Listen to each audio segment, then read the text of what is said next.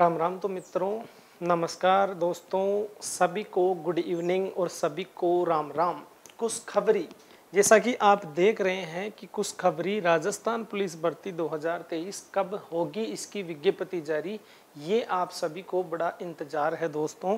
इसका आपको बेसब्री से इंतज़ार है, लेकिन आपके सामने मैं बता दूँ कि 10 तारीख को जो सीईटी सीनियर सेकेंडरी लेवल का जो नोटिफिकेशन जारी हुआ है, उसे देखकर आप सबके होश उड़ गए होंगे। मुझे पता है क्योंकि मैंने भी सीईटी का सिलेबस देखा है। राजस्थान पुलिस का जो पहले सिलेबस था दोस्तों, वो अपने आप में एक अथाह समुद्र की तरह था। लेकिन बोर्ड ने और राजस्थान सरकार ने कुछ सोचे समझे बिना ही सीईटी को इसमें शामिल कर लिया। तो अपने सामने एक प्रश्न ये भी उठ रहा है, आप भ्रमित हैं कि क्या इसे वापस सीईटी से बाहर कर दिया जाएगा? तो इन सब मुद्दों पर हम कि कब तो इसकी विज्ञप्ति जारी होने वाली है और क्या इसे सीईटी से वापस बाहर निकाल दिया जाएगा? इन सब मुद्दों पर आज मैं आपके सामने चर्चा करने वाला हूँ। तो फटाफट से आ जाइए और मैं आपको बता दूँ दोस्तों मैं आपको बता दूँ कि आप सबके होश अवश्य उड़े हुए हैं और मैं, मुझे जहाँ तक पता है, मुझे जहाँ तक पता है, सरकार ने राजस्थान पुलिस के जवानों के साथ में एक तरह से ये एक अन्याय किया है। दोस्तों, अगर हम इसके सिलेबस की बात करें, अगर हम इसके सिलेबस की बात करें तो इसका सिलेबस पहले से ही कम नहीं था और उसके बावजूद भी इन्होंने राजस्थान पुलिस की भर्ती को सीईटी में शामिल करवाकर इतना लंबा चौड़ा सिलेबस भर दिया है कि एक नौजवान एक नौजवान बच्चा पुलिस की नौकरी को सबसे छोटी नौकरी, एक छोटा कंपटीशन मानकर तैयारी करना वहीं से स्टार्ट करता है।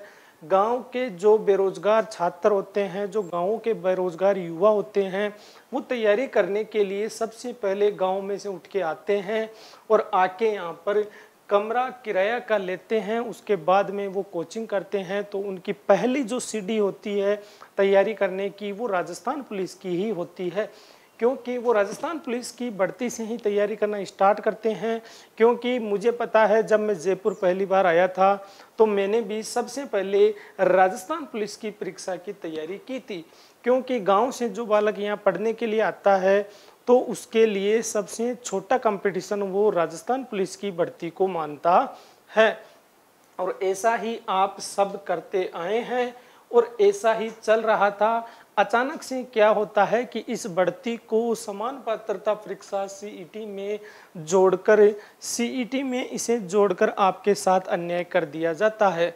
तो आज हम इस पे चर्चा करेंगे कि क्या इस बढ़ती को सीईटी से बाहर निकाल दिया जाएगा अथवा नहीं, और इसकी विज्ञप्ति कब जारी होगी।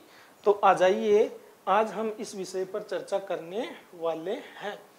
तो देखिए दोस्तों, मैं सबसे पहले आपको बता दूँ कि हम, हमारा जो आज का मेन मुद्दा रहेगा, वो मैंने बता दिया कि सबसे पहले तो हम आज भर्ती को लेके चर्चा करेंगे कि ये भर्ती कब आएगी।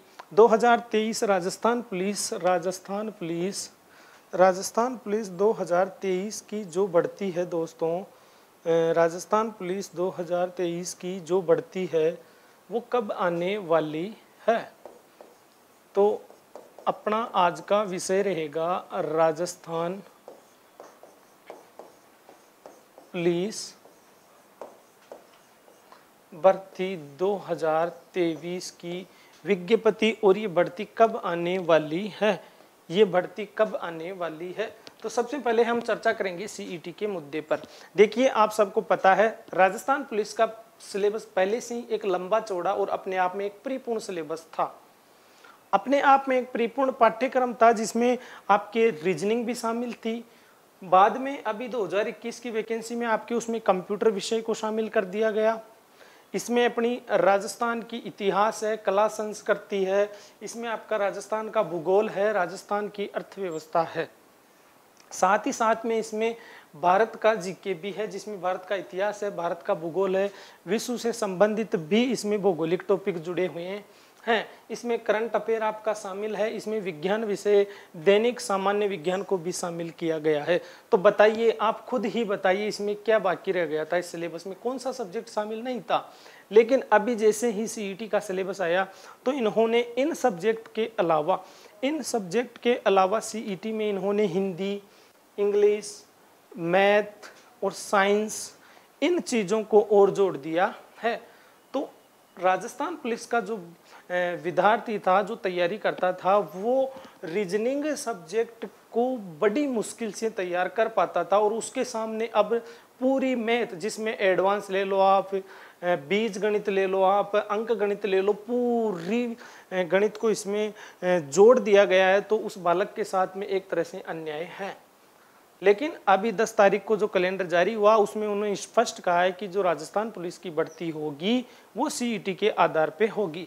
अब हम चर्चा करते हैं इस पर क्या इसको बाहर निकाल दिया जाएगा। तो देखिए, मैं बता दूँ, बाहर निकालना तो एक बहुत ही मुश्किल काम है। लेकिन अगर छात्र छात्र संगठन मिलकर सभी छात्र कुछ अभियान चलाते हैं तो इसका कुछ मुद्दा हल हो सकता है। अतः अभी तक जहाँ तक मेरे को पता है 99 परसेंट नाइन्टी परसेंट सी करवाएगा राजस्थान पुलिस से पहले। अगर बाद में कोई छात्रों के हड़ताल होती है, कोई अभियान चलाया जाता है उनके द्वारा तो फिर एक परसेंट चांस बनते हैं। नहीं तो सी आपको देनी ही पड़ेगी और उसे क्लियर करने के बाद ही आप राजस्थान पुलिस की बढ़ती देख सकते हैं। अब हम चर्चा करें नई वैकेंसी कब आने वाली है। तो देखिए दोस्तों, राजस्थान पुलिस की जो नई वैकेंसी है, राजस्थान पुलिस की जो नई बढ़ती है अभी 2021 की जो बढ़ती थी राजस्थान पुलिस की, उस बढ़ती के अभी फ़िज़िकल चल रहे हैं। अभी उनके फ़िज़िकल कंप्लीट नहीं हुए हैं, उनके फ़िज़िकल की डेट आ चुकी है। पहले उनकी शारीरिक दक्षता परीक्षा होगी, उसके बाद उनके मेडिकल लिए जाएँगी, फिर मेरिट लिस्ट आएगी और उसके बाद में वो भर्ती कंप्लीट होने के बाद में राजस्थान सरकार या किसी भी गवर्नमेंट का एक रूल रहता है कि जब तक समान पदों वाली कोई भर्ती चल रही है और वो कंप्लीट नहीं होती, तब तक नई विज्ञप्ति जारी नहीं की जा सकती है। अतः 2021 की जो वैकेंसी आई थी, अभी इसकी प्रक्रिया पूर्ण नहीं हो पाई है। जब इसकी प्रक्रिया पूर्ण हो जाएगी तो जल्दी ही जल्दी ही सुनने में आ रहा है कि सात हज़ार पदों के लगभग, सात हज़ार पदों के लगभग राजस्थान पुलिस की नई बढ़ती आपको देखने को मिलेगी। लेकिन आपके सामने सबसे बड़ा संकट है सीईटी टी अतः मैं आपको कह दूँ कि जिस भी भाई को, जिस भी विद्यार्थी को, जिस भी छात्र को राजस्थान पुलिस की तैयारी करनी है तो वो आज ही तैयारी में जुट जाएँ, नई बढ़ती का इंतज़ार नहीं करें, क्योंकि उन्हें मुख्य बढ़ती परीक्षा में बैठने से पहले एक सीईटी की परीक्षा के पंद्रह गुणे विद्यार्थियों में अपने आप को काउंट भी करवाना होगा। अतः सीईटी की, जो आपकी सीनियर सेकेंडरी लेवल की सीईटी की परीक्षा है, वो फरवरी में आयोजित की जाने वाली है और अभी अक्टूबर का महीना चल रहा है। अतः अक्टूबर आधा गया, नवंबर, दिसंबर, जनवरी और फरवरी। आपके सामने चार महीने और काटपीट के मैं बोलूँ तो आपके सामने दिवाली भी आपका कुछ टाइम खा जाएगी क्योंकि दिवाली सर पे है। अतः इस प्रकार में कहूँ तो आपके सामने केवल तीन महीने का टाइम है। राजस्थान पुलिस की बढ़ती में बैठना है, इसकी भर्ती परीक्षा की एग्ज़ाम देनी है तो आपको अभी सीईटी की तैयारी में जुट जाना है। जब तक आप सीईटी क्लियर नहीं कर पाएँगे, तब तक आप पुलिस की बढ़ती नहीं देख सकते हो। अगर इस सीईटी में आपका आपका परिणाम या आपका स्कोर अच्छा नहीं रहा तो मैं बता दूँ कि एक साल तक आपको फिर दूसरी सीईटी के लिए इंतज़ार करना पड़ सकता है, क्योंकि सीईटी के नोटिफिकेशन में स्पष्ट लिखा हुआ है कि कम से कम कम से कम एक बार तो साल में आयोजित करवाएगी। करवा भी सकती है अधिक, लेकिन मेरे मानना जहाँ तक है, अगली सी आते आते एक साल का समय निकल ही जाएगा। और चुनाव भी है, दिसंबर 2023 में राजस्थान विधानसभा चुनाव है उसके बाद पता नहीं कब बढ़ती हैं, क्या हो। अतः मेरा आप सभी से हाथ जोड़ के निवेदन है कि जिस भाई को भी राजस्थान पुलिस की तैयारी करनी है या और कोई बढ़ती की तैयारी करनी है, जो आने वाली है, जो सीईटी के नोटिफिकेशन में दी हुई है तो वो आज से ही सब कुछ छोड़कर तैयारी करने लग जाएँ। तैयारी करने का जो सही तरीका है, उसके लिए मैं आपके लिए एक अगला वीडियो बनाऊँगा, जिसमें शुरू से लेकर अंत तक बिल्कुल आपको तैयारी के बारे में सटीक और स्पष्ट व्याख्या के साथ में समझाया जाएगा। लेकिन इस वीडियो में मेरा इतना ही कहना है कि आप आप अपने आप से पूछिए कि क्या मुझे तैयारी करनी चाहिए। अगर आप दिमाग से और अंतर आत्मा से आपको लग रहा है कि हाँ मुझे सरकारी नौकरी की तैयारी करनी है तो बालकों, तैयारी कीजिए। और अगर आपको थोड़ा बहुत भी ऐसा लग रहा है कि नहीं, मेरा सिलेक्शन नहीं होगा, मैं तैयारी नहीं करूँ तो अपने मोटिवेशन को बढ़ाइए। आप सब कुछ कर सकते हो, अगर आपने ठान लिया है तो। आप अपन, अपने आप को और अपने परिवार वालों को, अपने घर वालों को धोखा मत दो। तैयारी करने के लिए घर वाले जयपुर भेज रहे हैं या किसी और आसपास के सिटी में, शहर में भेज रहे हैं तो आप ईमानदारी, आपकी ईमानदारी आपके पास है। आप ईमानदारी से तैयारी कीजिए, सफलता एक दिन आपके कदम चूमेगी।